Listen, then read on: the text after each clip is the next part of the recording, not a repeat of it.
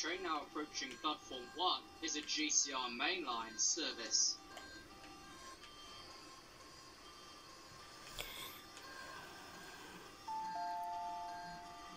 The train now approaching platform 2 is not for public use. Please stand well away from the platform edge.